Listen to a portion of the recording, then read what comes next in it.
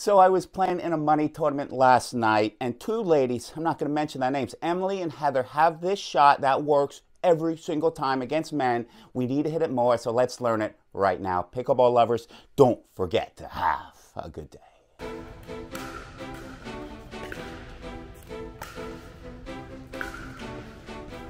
It's that shot. It's so effective. That's Emily. She's 24. She's going to go pro. And honestly, that's a big reason why that shot, and it made many men look really bad last night. It really did. She does have a carbon fiber paddle too. Just a thought. Joey? Also, if you need a new paddle, take a look at the description. We save 10% on pretty much any paddle, and it keeps us in business. So I could keep doing this.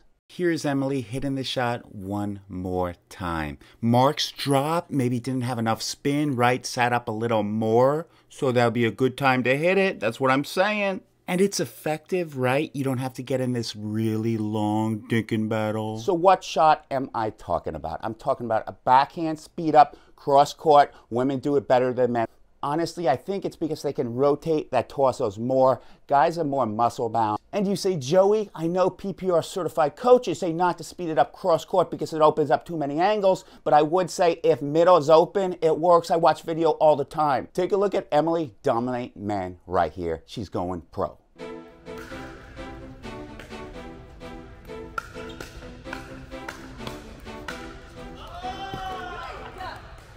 I know this is such a good video, Emily, because you are dominating men with the shot. Now, she was a tennis player, right? And Heather was too. So if you're a tennis player with a two-handed backhand and you want to come to pickleball, hit the shot. Guess you could dink a lot less when you see that dead dink, hit it, right? If you have really good fast reaction times and build that wall with your partner, I would say to hit the shot. When do you hit this shot? When you're in the forehand middle side, you get a dead dink, or you could hit it on the fourth shot, right? Heather does it all the time. If they hit a third shot drop that doesn't have a lot of spin that sits up. You can just tee it up. Take a look at Heather Dominate Man right here.